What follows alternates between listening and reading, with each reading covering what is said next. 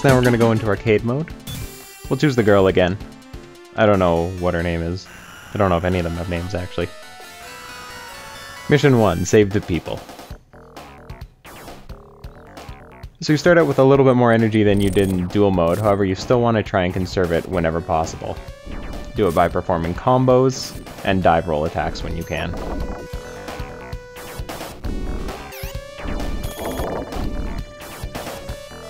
Always keep your eye out for the little E-tablets. You're going to need lots of energy. You don't want to run out in this game.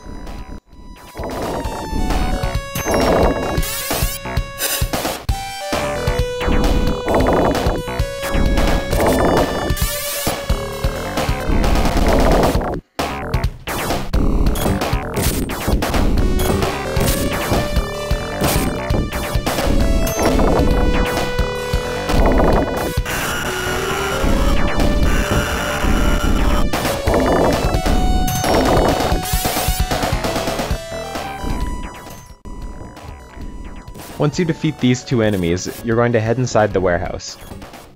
The AM1 warehouse, for all you Sega fans out there.